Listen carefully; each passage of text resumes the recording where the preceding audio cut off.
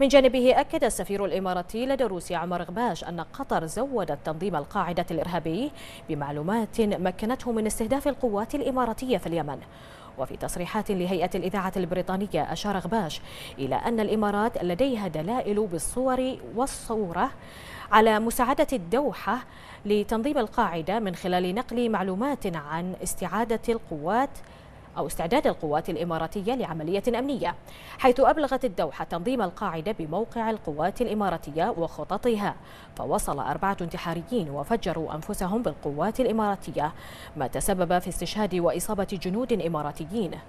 غباش دعا المجتمع الدولي إلى دعم إجراءات استهداف مصادر تمويل الإرهاب لافتا إلى أن هناك أفرادا في قطر يرسلون التعليمات لأشخاص في اليمن وليبيا وسوريا لتنفيذ عمليات محددة. There, there, will be voice recordings. I mean, there are voice recordings of, what, though? of people giving instructions, known known individuals in Qatar, giving instructions to known individuals, whether it's in Libya or in Yemen or in Syria, uh, on on uh, carrying out certain certain acts. Uh, for example, there, there, there is a specific example that I'd like to give you, uh, which is uh, on on the Yemen. Uh, we were in the process of engaging with Al Qaeda. the Qataris were alongside us. We have information that I don't have, but we as a, as a, a government have information that our Qatari uh, allies uh, informed Al Qaeda of our precise location and what we were planning to do.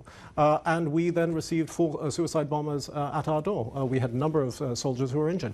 And this is one of the very, very so they deliberately sabotaged an attack and tried to kill your own UAE soldiers? We, we have had Emirati soldiers dying as a result of Qatari activities.